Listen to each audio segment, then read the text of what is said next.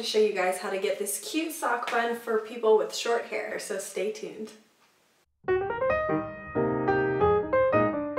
Step one is going to be taking a comb and just pulling your hair back into a ponytail.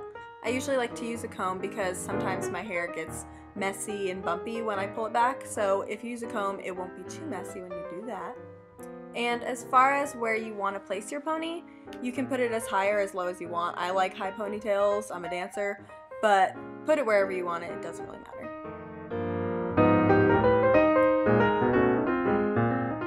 Like most people with short hair, you'll probably have a little bit of extra at the bottom that won't fit into your ponytail. So just take a couple bobby pins and secure that up to the back of your head to get it out of the way.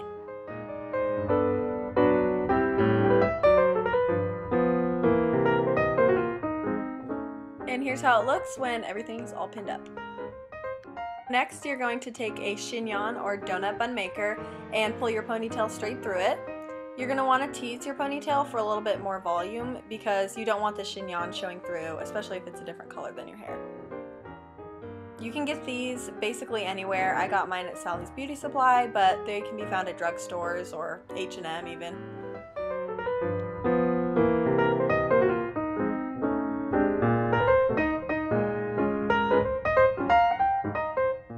Now you're going to use your hand to flatten it from the top and then just wrap your hair around the bun maker, making sure that it's all going in the same direction and looking smooth. So if your hair is too short to do this, you can go ahead and just pin your hair straight down around the bun maker instead of wrapping it.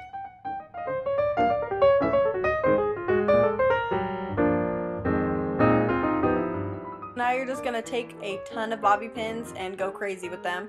Just make sure your bun is as secure as possible.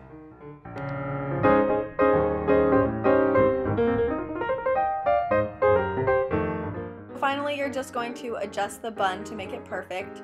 You might need to use a little bit of hairspray, but other than that, you're all done.